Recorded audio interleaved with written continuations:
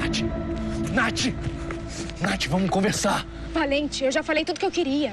Eu já deixei claro que a nossa relação nunca vai dar certo. Eu sou uma pessoa contaminada. Nath, por favor, não fala assim. A gente vai encontrar uma cura pra você.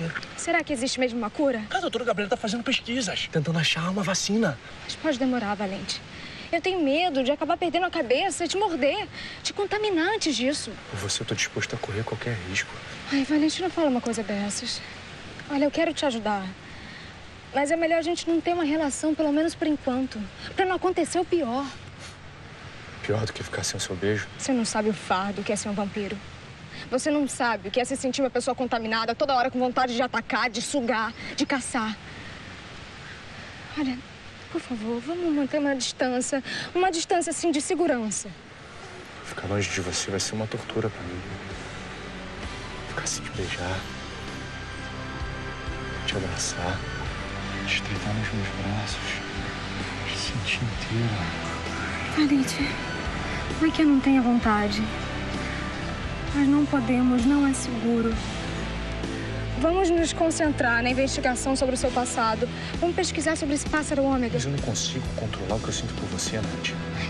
Nath, Nath, me escuta. Eu não sei de onde eu vim, não sei quem eu sou, isso tudo muito louco.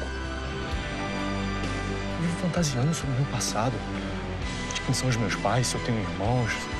Se eu tô envolvido com uma namorada, até mesmo uma esposa, eu posso até ser pai, eu não sei. É tudo imaginação, nada é real. O passado ele não existe, eu só tenho aquilo que eu imagino. Agora o que eu sinto por você, isso sim é real. Aliás, o amor por você é a única coisa real da minha vida. Nath, sem você eu não vou ter mais nada. Vontade de ter você no momento é minha única realidade.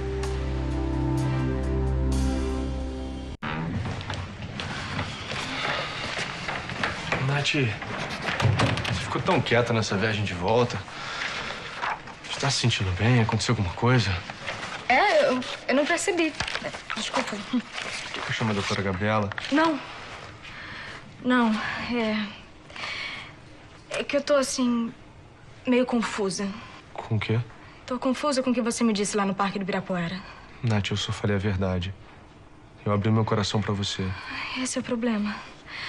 É por isso que eu tô assim, quietinha, cheia de dúvidas, me sentindo meio estranha.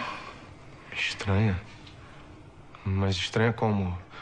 Você tá sentindo falta de sangue pra se alimentar? Não. Eu tô assim, desse jeito, meio alegre, meio assustada ao mesmo tempo, com a declaração de amor que você me fez. Eu fiquei muito balançada com o que você me disse. É difícil imaginar ser alguém tão importante pra outra pessoa. E você é. Ai, Valente. Minha vida se transformou numa loucura depois que eu virei vampira. Eu tô fazendo de tudo, usando toda a minha força de vontade pra não atacar ninguém. Mas eu não sei o que pode acontecer comigo amanhã. Posso ser caçada pelo DPCOM. Eu posso não resistir ao vírus vampiresco e me transformar numa criminosa, saciando minha fome com sangue humano. Eu posso até ser morta. Vô, Nath, não fala assim.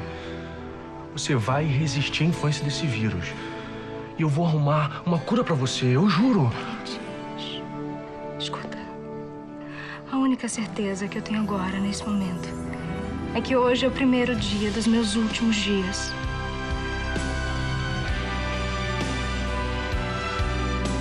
E eu não vou reprimir um sentimento tão lindo. Um amor tão forte. Quanto amor que eu tô sentindo por você.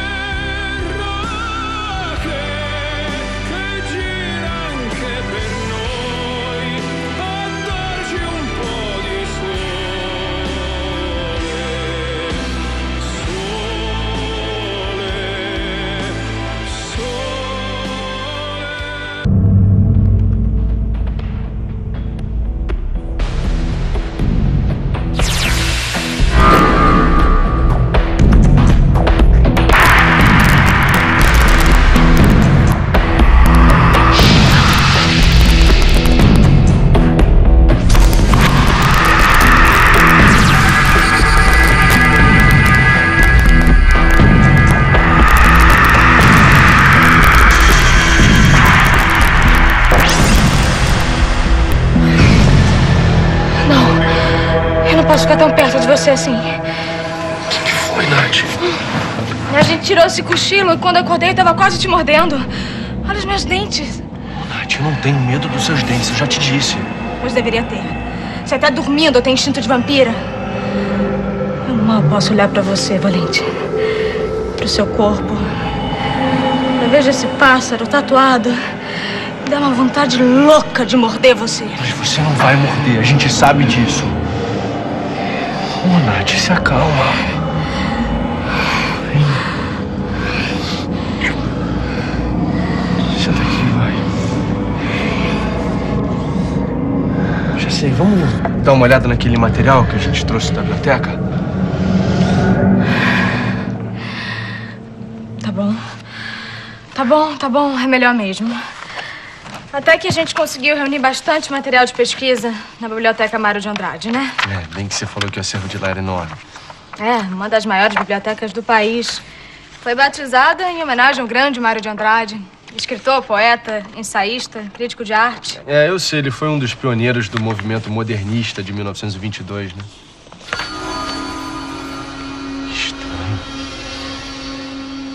Que eu consigo lembrar de uma coisa dessas se eu não sei nada sobre a minha vida pessoal, sobre a minha família? Como é que pode?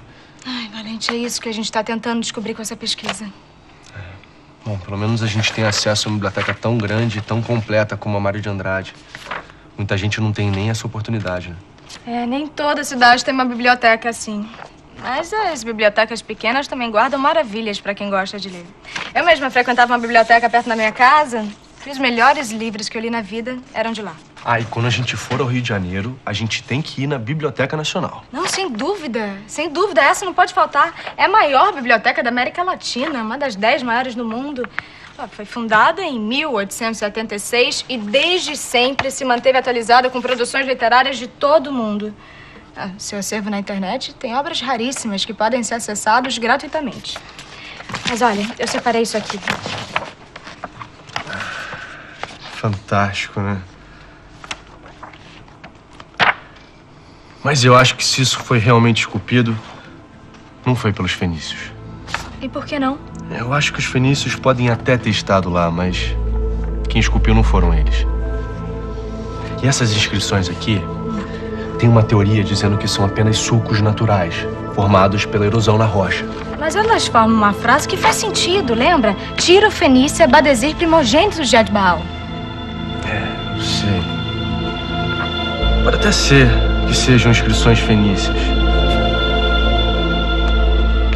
Mas pelo que diz essa reportagem aqui, os fenícios não foram os únicos povos a visitarem o Rio de Janeiro. Parece que essas esculturas, como o rosto na Pedra da Gávea, o pássaro no Pão de Açúcar, eles foram feitos por outros povos. Povos, olha aqui, que detinham muito mais poder sobre a matéria, a ponto de viajarem no espaço e esculpir as montanhas.